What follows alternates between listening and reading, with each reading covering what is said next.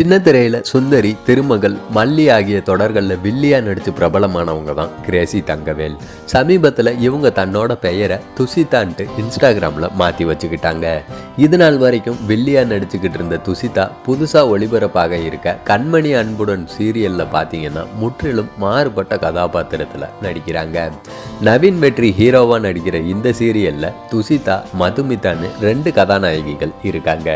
இந்த முக்கோண காதல் கதையில் பார்த்தீங்கன்னா துசிதாவுடைய கதாபாத்திரம் வில்லியா மாறுமா இல்லை கதாநாயகியாக ஜொலிக்க போகிறாங்களான்ற எதிர்பார்ப்பு இப்போவே ரசிகர்கள்கிட்ட ஆரம்பிச்சிடுச்சு.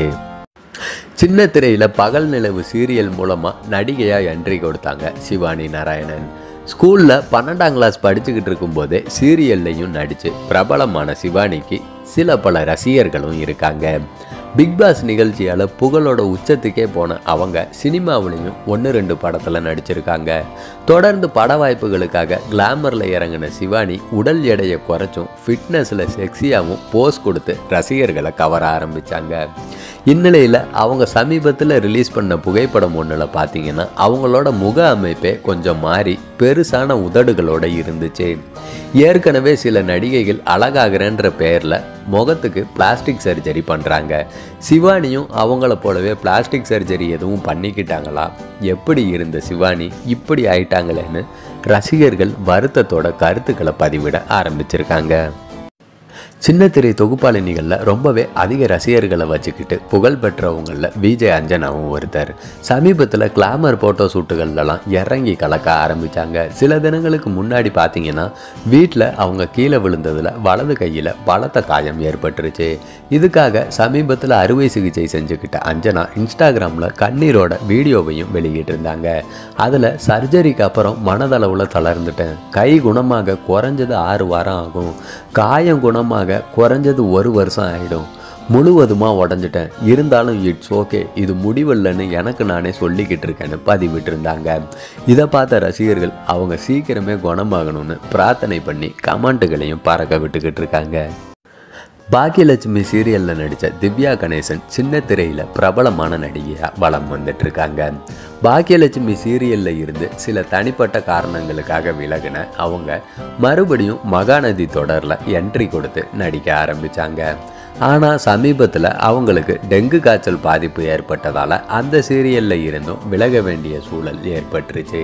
மருத்துவமனையில் சிகிச்சை பெற்று வந்த திவ்யா கணேசன் இப்போ பூரணமாக குணமடைஞ்சிட்டாங்க. இதையடுத்து இறைவனுக்கு நன்றி தெரிவிக்கிற வகையில் சக நடிகையான கம்பம் மீனா செல்லமுத்து கூட சிறுவாபுரி முருகனை தரிசித்து புகைப்படமும் வெளியிட்டிருக்காங்க. அவங்க குணமடைஞ்சதை தொடர்ந்து சீக்கிரமே சீரியலில் நடிக்கணும்னு ரசிகர்களும் தங்களோட விருப்பத்தை தெரிவிச்சிட்டு இருக்காங்க. தமிழ் சின்ன திரையில் ரசிகர்களை கவர்ற வகையில் பல சீரியல்களை தயாரிச்சிட்டு இருக்காங்க விஜய் டிவி நிறுவனம். இந்த சேனலில் ஒளிபரப்பான பாண்டியன் ஸ்டோர் சீரியலுக்கு பார்த்தீங்கன்னா மிகப்பெரிய வரவேற்பு கிடைச்சிட்டு இருந்த நிலையில் பிற மொழிகள்லையும் ரீமேக்கும் பண்ணாங்க. இப்போ பாண்டியன் ஸ்டோர்ஸ் டூ சீரியலுக்கும் பார்த்தீங்கன்னா அதே அளவு வரவேற்பு கிடைச்சிக்கிட்டு இருக்கு அதுக்கேற்ற மாதிரி மலையாளத்தில் சன்வானம் டூ அப்படின்ற பெயரில் ஏசியானெட் தொலைக்காட்சியில் சமீபத்தில் ரீமேக் பண்ணியிருக்காங்க. இப்போ கூடுதலாக தெலுங்குலையும் பார்த்தீங்கன்னா வாடி நம்மா டூ அப்படின்ற பெயரில் பாண்டியன் ஸ்டோர் சீரியல் பார்த்தீங்கன்னா ரீமேக் ஆக இருக்குது இனி தெலுங்குலையும் கலக்க போகுதுங்க பாண்டியன் ஸ்டோர்ஸ். விஜய் டிவியில் ஒளிபரப்பான மோதலும் காதலும் தொடரில் பார்த்தீங்கன்னா வேதா கதாபாத்திரத்தில் நடித்து பிரபலமானாங்க அஸ்வதி. அந்த தொடர் பார்த்தீங்கன்னா கூடிய சீக்கிரமே முடிவுக்கு வந்த நிலையில் உடனடியாக இன்னொரு டிவியில் ஒளிபரப்பான மலர் தொடரில் ஹீரோயினாக நடிக்க ஆரம்பித்தாங்க ஆரம்பத்தில் மலர் கதாபாத்திரத்தில் பிரீத்தி சர்மா போல அஸ்வதியால் நடிக்க முடியாதுன்னு தான் பலரும் நினச்சாங்க. ஆனால் இப்போ மலர் தொடரில் அஸ்வதி ஹீரோயினாக கலக்கிக்கிட்டு இருக்காங்க. இந்நிலையில் அவங்களோட நடிப்பு திறமைக்கு மேலும் புகழ் சேர்க்கிற வகையில் மலையாளத்தில் ஒளிபரப்பாக இருக்க அபூர்வாகம் அப்படின்ற சீரியலில் பார்த்தீங்கன்னா ஹீரோயினாக நடிக்கிற வாய்ப்பு அஸ்வதிக்கு கிடைச்சிருக்கு. இந்த சீரியலுடைய ப்ரோமோ இப்போ வைரலாகிற நிலையில் அஸ்வதிக்கு ரசிகர்கள் பலரும் வாழ்த்துக்களை குவிச்சுக்கிட்டு இருக்காங்க.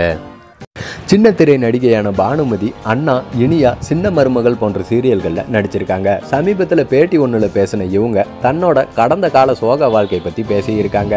அந்த வீடியோ இப்போ செம்ம வைரலாக போய்கிட்டு இருக்குங்க. அந்த பேட்டியில் பேசின பானுமதி என்ன சொல்லியிருந்தாங்கன்னா எனக்கு பதினாறு வயசுலேயே திருமணம் முடிஞ்சிடுச்சு.